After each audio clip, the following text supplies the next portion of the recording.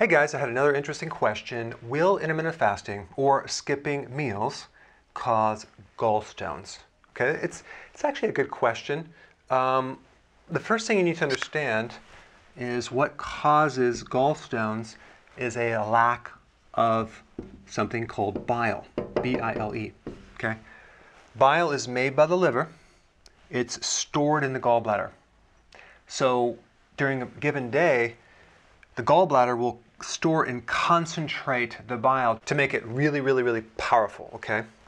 So, if we have very concentrated bile sitting in that gallbladder, um, that's not going to actually cause a stone.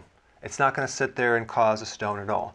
What causes a stone is a lack of this substance right here.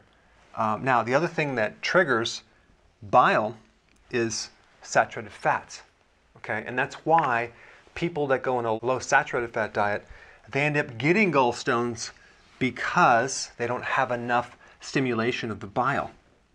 So, and even diabetics, for example, uh, or people who eat frequent meals or um, consume a lot of carbs, they're going to dry up their bile. They're going to deplete their bile even more and get gallstones. That's why there's a higher incident rate of getting gallstones if you're diabetic. So when we do keto, we're increasing more fat to release more bile.